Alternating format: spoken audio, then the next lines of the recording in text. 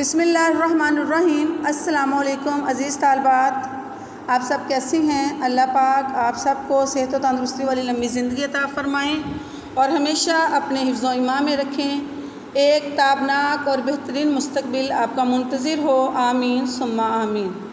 So open your Urdu text book page number seventy eight अज़ीज़ तालबात, आज का हमारा उनवान है हज़रत उमर बिन अब्दुल अज़ीज़।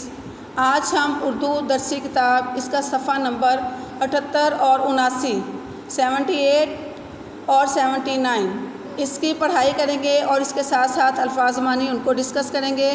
और तमाम अल्फाज के जो मानी हैं, वो आप अपनी टेक्स्ट बुक पेज नंबर अठहत्तर और उनासी। इन पर जो है, वो तहरीर भी करेंगे। इबरत नसीहत, हवस प्रस्ती, लालच, तमा, तशबी, मुशाहबत देना, बैत, पैरवी करना, किसी तालीमत को मानना, सीगा राज राज में रखना, मलूकियत, बादशाहत, आफरीन, सराहना, शाबश कहना, तकवा, परहेजगारी, बैतुलमाल, सरकारी या हकूमती ख़जाना, जिजिया जुर्माना देना और जिजिया जो है वो हमेशा मुस्लिम रियासतों में जो नॉन मुस्लिम गैर मुस्लिम होते हैं, वो जो टैक्स अदा करते हैं, उनको जिजिया कहा जाता था। तरवीज देना अशात करना, रवाज देना, दार फ़ानी, फना होने वाला घर, मुराद दुनिया।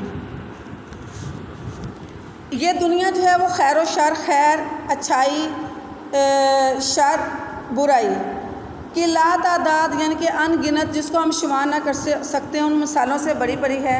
और इसमें कोई शक नहीं कि जहाँ मुतद यानी कि कई ऐसी मिसालें हैं खैर की हैं तो वहाँ शर की मिसालों की भी किसी तौर भी कम नहीं है लेकिन हमें याद रखना चाहिए कि हमें हमेशा उन मिसालों को उन बातों को पर जो है वो अमल पैरा होना है जो हमें नेकी का रास्ता इख्तियार कर, करने की तरफ़ ले जाती हों।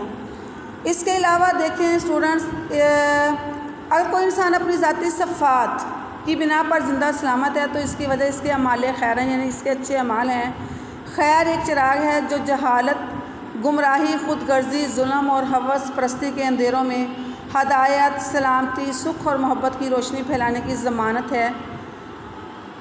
गुमराही का मतलब है गुम हो जाना, ऐसा रास्ता इख्तियार करना कि जिस पर अगर हम चलते हैं तो वो गुमराह रास्ता ऐसा है जो हमें हमेशा बुराइयों की तरफ़ ही धकेलेगा।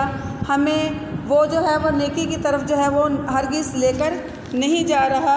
तो गुमराही का मतलब है कि ऐसा रास्ता जिसमें हम रास्ता भूल जाएँ या हम भटक जाएँ। हजूर रसालत में आप सल्लल्लाहु अलैहि के बाद हज़रत अबू बकर सदीक हज़रत उमर फ़ारूक हज़रत उस्मान गनी और हज़रत कर, अली करमुल्ला वजह के बाद जगह बाद दीगर यानी एक के बाद दू, दूसरा मुसलमानों के खलीफा मंतखब हुए। इन चारों खलफा का दौर अहद रसालत के बाद अमन सलामती अदलसाफ़ और इस्लामी अहकाम के नफाज यानी कि उनके नाफज लागू करने का बेहतरीन दौर था। तरीक़ इस्लामी अरसा खिलाफत राशदा का दौर कहलाता है। इसके कुछ अरसा बाद इंतशार यानी कि बिखरना, नाइतफाक़ी और बदअमनी। बदअमनी फसाद लड़ाई का ज़माना रहा हती के वाक़ करबला करबला जैसा अंदोनाक यानी कि गमनाक जो वाक़ है वो भी इसी ज़माने में पेश आया था। हम इस्लाम की एक ऐसी मुत्तकी परहेजगार शख्सियत जो थी वो खुलफा राशद के तौर पर मैसर आया हमें तो वो हैं हज़रत जिनको हम हज़रत उम्र फ़ारूक से भी तशबी देते हैं और उनको उम्र सानी का भी ख़ताब दिया गया है। यानी कि उन्हें दूसरे हज़रत उम्र फ़ारूक भी कहा जाता है तो ये हस्ती तरीक़े इस्लाम में हज़रत उमर बिन अब्दुल अज़ीज़ के नाम से जानी पहचानी हैं। हज़रत उमर बिन अब्दुल अज़ीज़ जो थे, वो छः सौ इक्यासी ईस्वी बामताबक इकसठ हिजरी में जो थे, वो मदीना मनवरा में बनु अमैया के जो शाही ख़ानदान थे, उनमें पैदा हुए और आपकी वालदा माजद, माजदा जो थी, वो हज़रत उम्र फ़ारूक की पोती थी।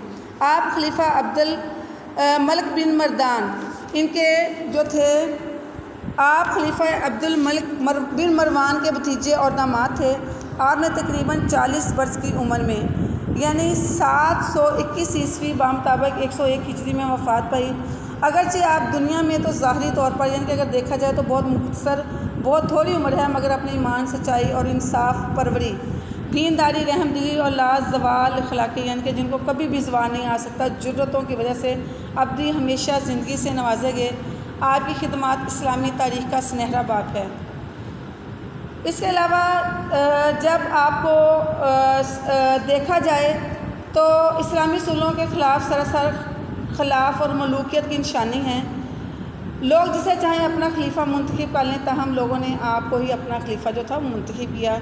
इस मौके पर आपने तारीख साज खुतबा देते हुए कहा कि जो शख्स खुदा की तात करे, उसकी अतात वाजब है, लाजमी है, जो खुदा की नाफरमानी करे, उसकी फरमा बरदारी वाजब नहीं है। मतलब कि आप किसी भी ऐसे हुक्मरान के जो है, उसके फरमा बरदार नहीं, रहना आपके लिए लाजमी नहीं है, जो अतात खुदा को जो है, या अल्लाह ताला के अहकाम को तस्लीम नहीं करता और ख़ुद भी उन पर अमल पैरा नहीं है।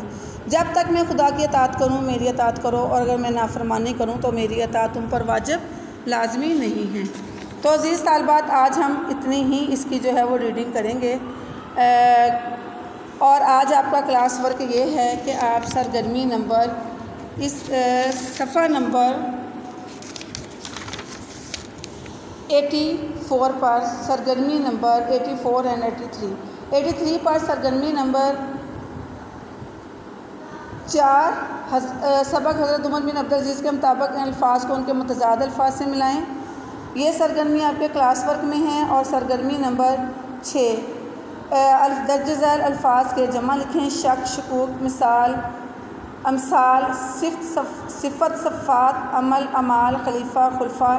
खिदमत खिदमत, असल, असूल, इम्तियाज़, इम्तियाज़ात गलती, अगलात। ये जो है सरगर्मी नंबर चार और छः जो है वो आप सफ़ा नंबर तिरासी, एटी थ्री पर जो है वो इनको हल करेंगे और सरगर्मी नंबर सात दर्जल झैल अल्फाज को इस तरह, जुमलों में इस तरह इस्तेमाल करें कि इनका मफहम जो है वो वाज हो जाए। तो सरगर्मी नंबर सात जो है ये आप अपनी text Urdu no, neat notebook पर जो है जुमले जो हैं आप उन पर तहरीर करेंगे। मैं एक दफ़ा दोबारा अल्फाज जमा जो है वो रिपीट कर देती हूँ। शक शकूक मिसाल अमसाल सिफत सफ़ात अमल अमाल खलीफा खुलफा खिदमत खिदमत असल असूल इम्तियाज़ इम्तियाज़ात इम्तियाज़ात और गलती अगलात।